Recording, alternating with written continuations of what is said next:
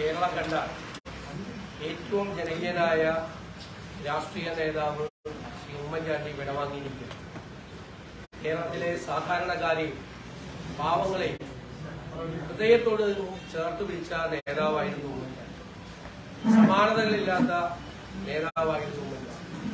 കേരളത്തിലെ ജനങ്ങളെയും പ്രത്യേകിച്ച് കോൺഗ്രസ് പ്രസ്ഥാനത്തെയും ഐക്യ ജനാധിപത്യ മുന്നണിയെയുമെല്ലാം സങ്കടത്തിലാക്കിക്കൊണ്ടാണ് അദ്ദേഹത്തിന്റെ ഈ വേർപാട് ദീർഘനാളായി അദ്ദേഹം ചികിത്സയിലായിരുന്നെങ്കിലും ആ ചികിത്സ കഴിഞ്ഞ അദ്ദേഹം രോഗവിമുക്തനായി തിരിച്ചു വന്ന് ഞങ്ങൾക്ക് നേതൃത്വം കൊടുക്കുമെന്നുള്ള പ്രതീക്ഷയിലായിരുന്നു ഞങ്ങളെല്ലാം.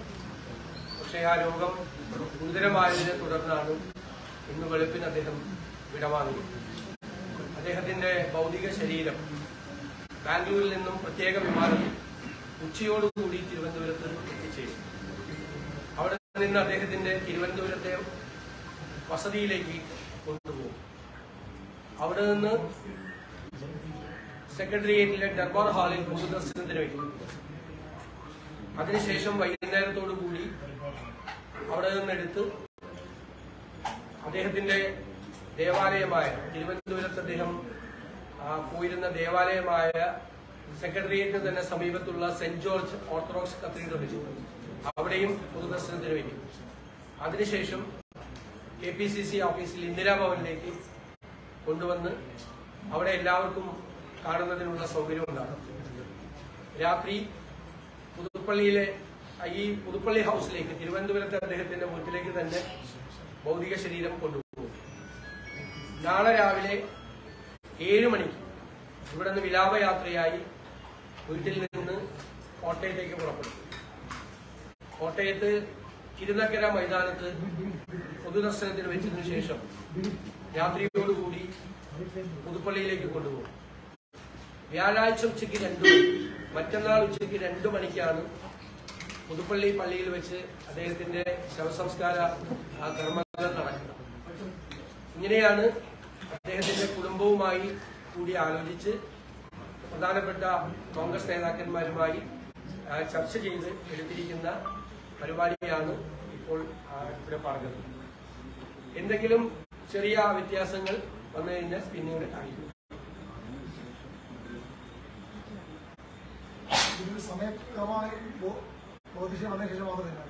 അല്ല? സമയം ഉച്ചയോടുകൂടി എത്തിച്ചേരുമെന്നാണ് പറഞ്ഞിരിക്കുന്നത്. സ്ഥലത്ത് അവിടെ നിന്ന് നമ്മൾ കരുതുന്നത് രണ്ടു മണിക്ക് മുമ്പായിട്ട് എത്തിച്ചേരുമെന്നാണ് രണ്ടു മണിക്ക് അവിടെ നിന്ന് നേരെ വീട്ടിലേക്ക് കൊണ്ടുപോയി. അവിടെ നിന്ന് ഒരു മൂന്നര നാല് മണിയോടുകൂടി സെക്രട്ടേറിയറ്റിലെ ദർബാർ ഹാളിൽ എത്തിക്കാൻ കഴിയും എ പി സി സിയിൽ ദർബാർ ഹാളിൽ നിന്ന് എടുത്ത് സെന്റ് ജോർജ് ഓർത്തഡോക്സ് കത്തീഡ്രലിൽ പൊതുദർശനത്തിന് വെച്ചതോടുകൂടി ഒരു ആറു മണിയോടുകൂടി K P C C office എത്തിച്ചേരാം. ഇങ്ങനെയാണ് നമ്മൾ ചെയ്തിരിക്കുന്നത്.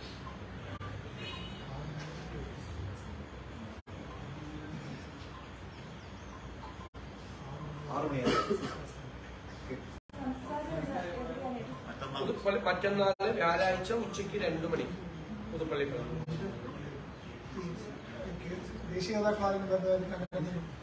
ഇല്ല അവരെല്ലാവരും ബാംഗ്ലൂരുണ്ട് അവരെല്ലാവരും ഇപ്പൊ അദ്ദേഹം താമസിക്കുന്ന അവിടുത്തെ വസതിയിൽ ചെല്ലുമെന്നാണ് പറഞ്ഞിരിക്കുന്നത് മറ്റ് വിവരങ്ങളൊന്നും ലഭ്യമല്ല ബാംഗ്ലൂരിലെ പ്രതിപക്ഷ നേതാക്കളുടെ യോഗം ചെയ്യുന്നതുകൊണ്ട് എല്ലാവരും അവിടെയാണ് ബാക്കി എല്ലാവരും ഒന്ന് അവിടെ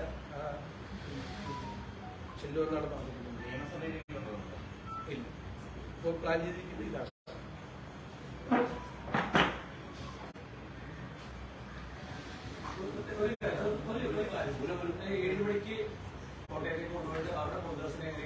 കിരുനക്കര മൈതാനത്ത് പൊതുദർശനത്തിന് വേണ്ടി. നാളെ. നാളെ. രാവിലെ ഏഴ് മണിക്ക് ഇവിടുന്ന് പോയി. അവിടെ എത്തുന്ന ഒരു സമയം നമുക്കത് കണക്കൂട്ടാൻ പറ്റില്ലല്ലോ. അല്ല, അദ്ദേഹത്തിന്റെ ഒരു പ്രവർത്തന മേഖലയിലൂടെയാണ് ഈ വിലാപയാത്ര പോകുന്നത്. നമുക്ക് വൈകുന്നേരത്തോടുകൂടി എത്തിച്ചേരാൻ കഴിയുമെന്നാണ് നമ്മുടെ പ്രതീക്ഷ. ആ തിരുനക്കര മൈതാനത്ത് കോട്ടയത്ത് ടൗണിൽ പ്രദർശനത്തിൽ വച്ചതിന് ശേഷം വൈകി പുതുപ്പള്ളിയിലേക്ക് പിറ്റേ ദിവസം പുതുപ്പള്ളിയിലെ. പുതുപ്പള്ളിയിലെ എല്ലാ ജനങ്ങൾക്കും കാണാനുള്ള സൗകര്യം. അതാണ് പിന്നീട് നഗരം ചുറ്റി വിലാപയാത്രയായിട്ടാണ് പുതുപ്പള്ളി പള്ളിയിൽ രണ്ടു മണിക്ക് കെ പി സി സി രാത്രി വൈകി പുതുപ്പള്ളിയിലെ ഇവിടുത്തെ പുതുപ്പള്ളി ഹൗസിലേക്ക് തിരുവനന്തപുരത്തെ പുതുപ്പള്ളി ഹൗസിലേക്ക്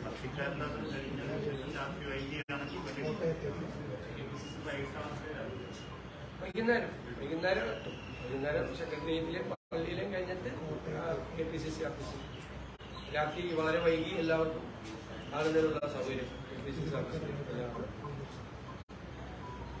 ഉച്ചയോടുകൂടി എത്തുമെന്നാണ് നമ്മളെ അറിയിച്ചിട്ടുള്ളത്. रेल में क्या